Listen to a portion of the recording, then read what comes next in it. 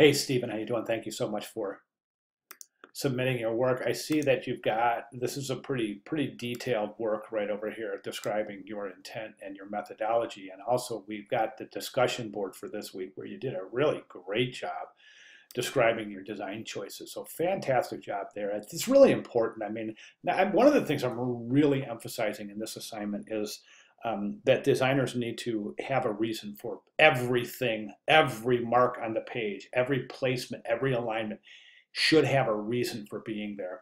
And that's really specifically relevant to students. And if you've looked at some of the other videos in, in this thread, you'll hear me mention this a lot. The reason this is so important, especially for student designers is because you're going to be asked to um, validate your decisions it, it, towards the end of your student career.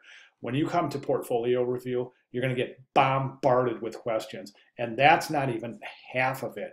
You're going to really get bombarded with questions when you start the interview process. And I, I use this story a lot, but whenever I interview an intern or a, a um, prospective uh, designer for, for my firm, I I mean, I give que- I mean, I just drill the the applicant um, with questions, and if I don't get answers to every question, honestly, Steven, I move on to the next candidate, and the, and I ask, give the reasoning for your alignment. Tell me about why you use what is this the significance of this typeface and if the designer says, well, I just, you know, I, I just thought it looked kind of cool in the composition. No, that's not the answer we're looking for. You have to have a reason for your, and that, I'm really trying to drill that home here um, this week. And, and I want you guys to take that and move forward and move through your student career and, and subsequently to your design career and keep that in mind. Everything should have a reason and you should be able to um, uh, describe in detail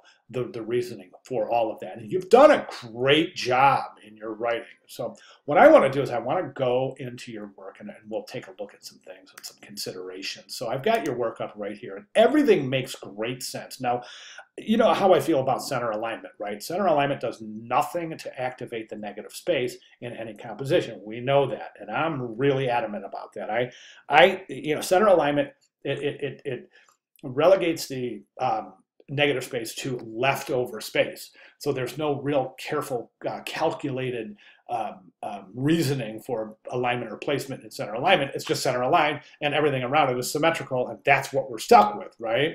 So there's definitely better ways of activating negative space than center alignment. However, your concept is to uh, represent via visual correspondence the idea of center stage. Therefore, this makes sense. Um, the fabric for the red curtain, that makes sense too. So really great job so far de de describing your, your intent. Now, one of the things I, I, think is a little problematic is this is his signature is a little bit difficult to read and and I think that could quite feasibly be be, be problematic. So I've got a couple of ideas, and, and I also I, have got some ideas I think that that are gonna are gonna work very well. Now another problem I'm looking at, and again, as a professional designer, it's all about foresight. So when I place something, I think about the placement. How is this going to work out down the line? You know, is is this going to be transposed into a web banner one day, and if so, how does this alignment going to work, and then, and et cetera, et cetera. Really think forward all the time, all the time you're designing. And the reason I say that is because this is a two-sided um, piece, right? It's a front and a back. So we're thinking about how, now I remember from your sketches that this was gonna go ahead and, and continue onto the back of the poster. And I think, I believe you even were going to try to create your timeline out of that. So you have this, this stroke of, of the signature that moves on to the back of the poster and starts to begin the timeline. Right now, the problem with placement here is that that timeline following this formula is going to be dead center on the back of the composition. And that's problematic because that's going to end up slicing your composition into two parts, theoretically, right? So uh, follow me on this. Um, so I, am not real sure about the placement here. I think we can tackle both of those issues with just a couple of, of, of minor adjustments to the um, to the composition. So my recommendation would be this. Let me, let me I've, I've thought about this, really thought about this. And I think what we can do is this. I, I would I would recommend moving the yeah, I know you want center stage, but right now, I, let's get this grounded a little bit. Okay, so let's move this down in the composition. All right. Now, what we can do is this. We can take this typeset right here, and we can go ahead and, and, and use that. Now, I know that the instructions say that the front of the cover needs to have um, the um, laureate's name as well as a tagline. It doesn't say, though, that it has to follow that hierarchy. So theoretically, we could make the focal point the tagline here, the, the quote, and then we can place the laureate's name under the quote. Then we can place his signature under that. And the, the, the, uh, by the time the viewer gets to the signature, they're going to know that says George Bernard Shaw or G. Bernard Shaw, right? So let's do this. I want you to take a look at this. And I just happened upon this, and I think it's a really interesting um, configuration. I think, let me show you what I'm talking about, this right here. So instead of doing the whole first sentence, that the, the, the word yourself is dropped to the second line, life is about creating yourself. So the cadence goes like this. Life isn't about, what the heck just happened? Okay, so life isn't about finding yourself. Life is about creating yourself with a little emphasis on creating yourself. And in the cadence of this and in the idea, that is, is, is the, the, fo the focal point of the statement. Okay, that's where the emphasis should be, is creating yourself. That's what he's saying. Okay, life is about this, life is about this, life is about creating yourself. Okay, so putting that on the line itself, I think is a really interesting solution.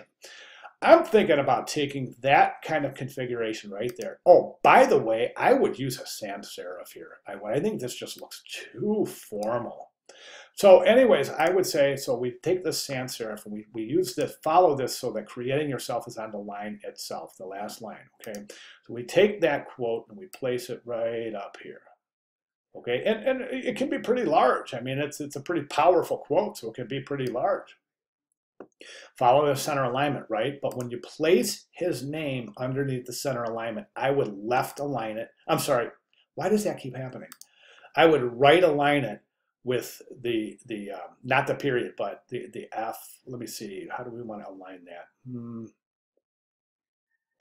Yeah, work on that alignment. Maybe since the, the, W is on a diagonal, you could probably exceed the F and maybe kind of take that serif and align it with the period.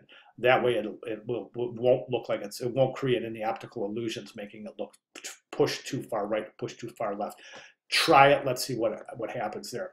I think that George Bernard Shaw here is a little bit large in relationship to the subhead. So think about removing, I mean, uh, bringing that size down a little bit. So again, this configuration. So, and then George Bernard Shaw right there. And that's placed right here, okay? So by the time the viewer reads that, they're gonna know who the, the, the laureate is. Then you can take this and bring it down a little, reduce the size maybe a little bit and bring it down so that when you do continue that line onto the back of the poster, it's not in such a cumbersome area that's going to create real nightmares when it comes to uh, laying out the back since that line will theoretically go right through the middle of the back of the poster. I, I hope I'm making sense. Let me know if I'm not, and I'll clarify. But I think that, that those could be some feasible solutions. I'm not saying I'm not saying Steven do this and do this and do this. I'm not trying to take over your project. I'm not trying to art direct your project. I'm trying to get you to think about these things.